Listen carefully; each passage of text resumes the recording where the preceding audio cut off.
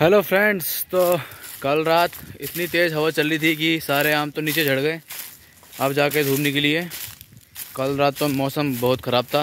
ये हमारे घर के सामने वाला बगीचा है और ये पेड़ आप देख सकते हैं। ये पेड़ इतना बड़ा है, मोटा है, देखो, टूट गया कल। इतनी तेज़ हवा चल रही थी और ये हमारे खेत पे गिरा हुआ है। इतनी तेज़ हवा चली कल, इतनी तेज़। और लगभग आम भी चालीस परसेंट झड़ गए होंगे। आज मैं वहाँ पर देख रहा था। बगीचे वाले वहाँ पर रहते तो आम ही आम हो रखे हैं।